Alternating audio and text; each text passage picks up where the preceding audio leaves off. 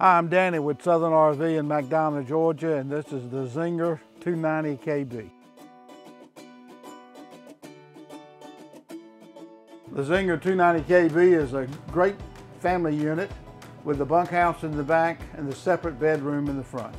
The Versa Lounger has many configurations to accommodate your guests. It has a well-equipped kitchen with a spacious sink, a three-burner stove, an oven, an overhead microwave oven, and a 12-volt refrigerator.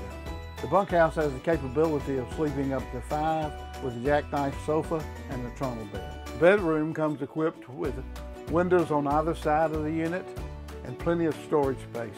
The outside kitchen comes equipped with a sink, a two-burner stove, and a refrigerator. If you like this Zinger 290 KB, come on down to Southern RV in McDonough, Georgia, and ask for Danny.